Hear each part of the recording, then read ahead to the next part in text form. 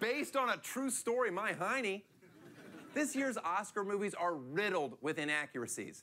Am I the only one with standards? Is Brian Williams writing all these scripts?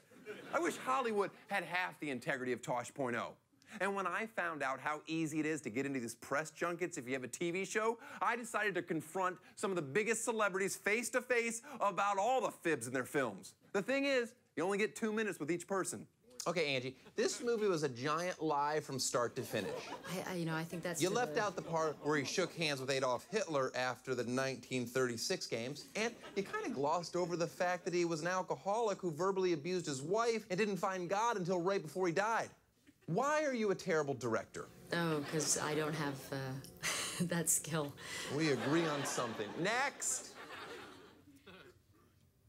Huh. Took some casting liberties, I see. Uh, I'm curious why the movie would leave out the fact that your mom was happily remarried. Um, And there was basically a whole community of people hiking the PCT. You were seldom alone on that trail. Liar! Next!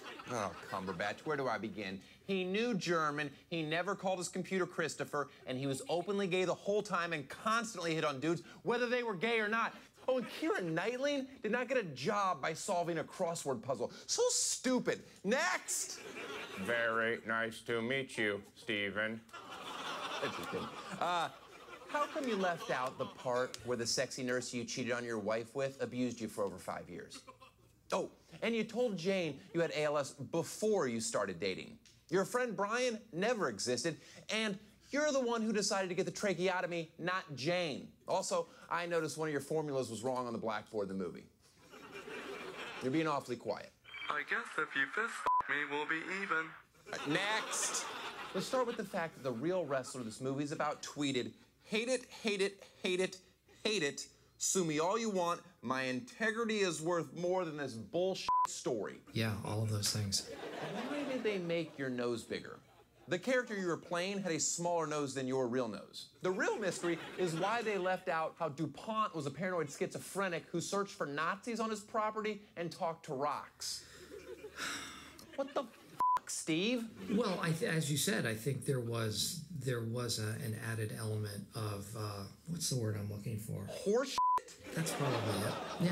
Next! Sure, for the record, Chris Kyle didn't kill Mustafa. He heard other snipers did. Stolen valor. And I don't care that he claims he was perched on top of the Superdome after Katrina to gun down 30 black looters in cold blood. Or that they left out the fact that Jesse the Body Ventura successfully sued him for $2 million for defamation of character. He's a goddamn hero. And if you don't believe and support every word of this movie, you are a threat to our national security and a terrorist. And for what it's worth, I thought your performance was breathtaking. I know we ignored Selma, but so did the Oscars. And if you need more proof that the Oscars are completely out of touch, there was not one nomination for the real best film of 2014. Yeah, John Wick. Did you see it? Watch it. Guy's got way more confirmed kills than that American sniper. I dare you to call John Wick a coward. Shame on you, the Academy. Shame.